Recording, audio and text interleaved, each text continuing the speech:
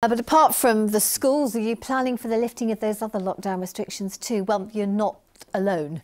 But with hope very much on the horizon, we are being warned not to let our guard down just yet. Our social affairs correspondent Jeremy Ball is here. And Jeremy, we saw pictures, didn't we, that police were dealing with a few lawbreakers over the weekend. Yeah, and with such a warm, sunny weekend, they were out in the parks this time. Officers basically reminding people to stick to that stay-at-home rule. Now, that means that while you can exercise in pairs or with your household or support bubble, it's still against the law to uh, meet for socialising or picnics. Now, in Nottingham, several groups had to be dispersed on the Arboretum. No fines, but the force was keeping a high profile.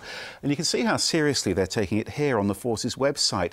The front page has this button to report COVID breaches. Then you get this menu, everything from self-isolation to illegal gatherings and from scams to not wearing face coverings. Crikey, mean, why are they taking it so seriously? We've seen, you know, such a sharp fall in cases.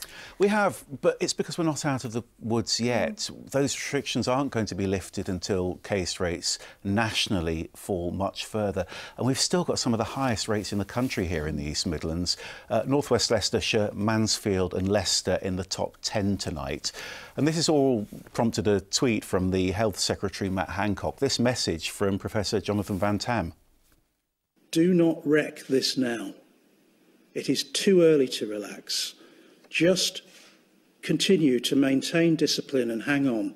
Just a few more months. Do not wreck this now. We are so close. I hope we are so close. But what about, about the rest of the East Midlands? What's been happening? Some concerns about numbers brought out by the sunshine in Derbyshire, particularly at tourist hotspots like Matlock Bath. And over the weekend in Leicestershire, the police had to fined someone for what they called a large birthday party in a back garden. They also broke up a rather more unusual illegal gathering in Melton, a party in a hot tub. I'm just going to think about that one. Jeremy, thanks very much indeed for that.